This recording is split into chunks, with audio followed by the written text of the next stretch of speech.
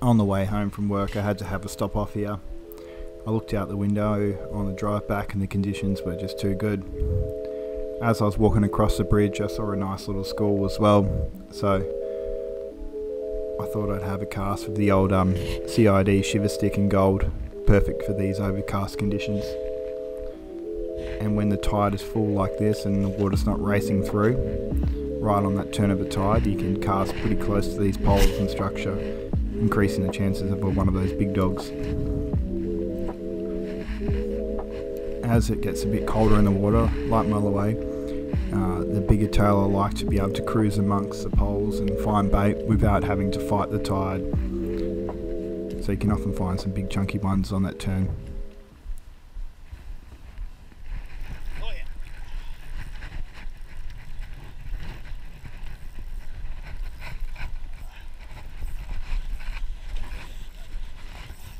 I've got pretty tight drag for the line class here, trying to navigate and not get busted off by these poles.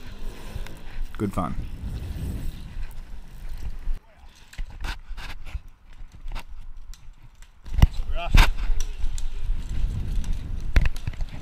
There's a few people under the bridge today, and this young fella brought his esky, so he's keen for a feed. So he's happy with this one. Yeah, you want a knife or you're right?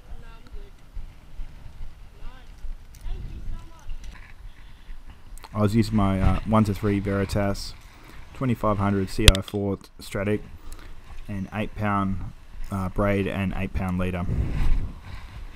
A little bit higher, I guess breaking strength would have been probably better with the structure here, but still perfect for this setup. This one was taken on the surface. Good fun.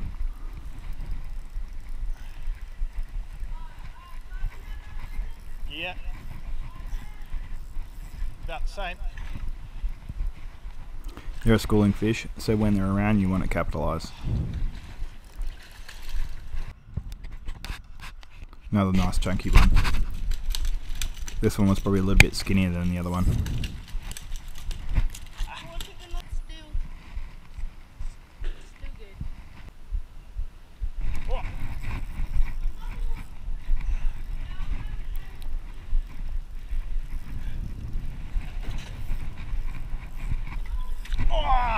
Here, I think I let the braid touch the um, wooden post and it just snapped straight away. Rookie error just for me. in there, yeah. It's going to happen when you're fishing the light braid around all the structure, though. That's what makes it fun as well.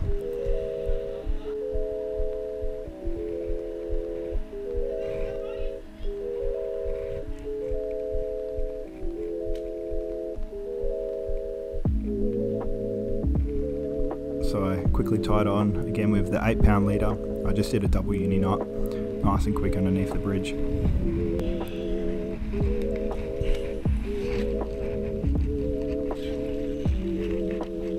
This is the same sort of setup I used to vibe for bream around the bridge, so um, bit of an all-purpose.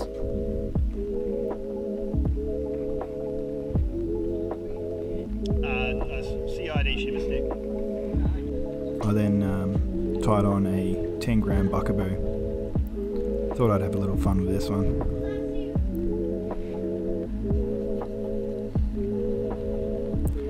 You can cast these a mile and give them a lot of action.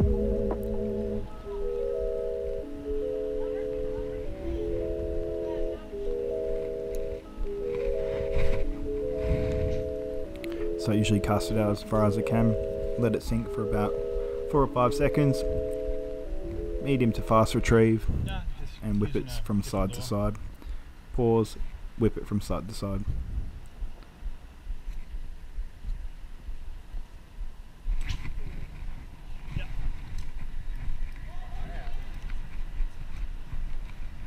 Oh, good tailor, good tailor, good tailor. He's only- he's not Not as big as the others, but still a bit of fun.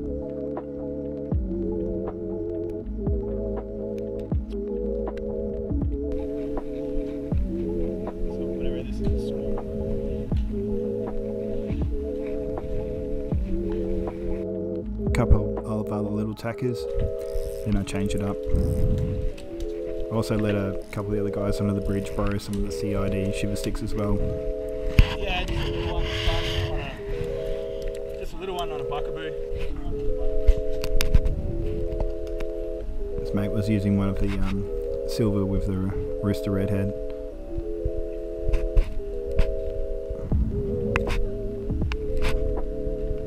This one rigged with just a single hook. First on the lure. Nice, mate. First, uh, first. Then the young fella that was taking the fish had a little 14 gram shiver stick that I let him borrow. And he got onto a tarwhine and a couple of little tailor as well. Then took back my uh, shiver stick.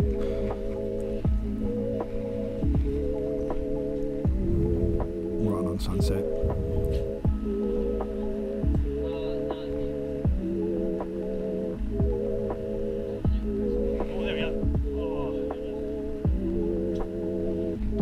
Nice follow there.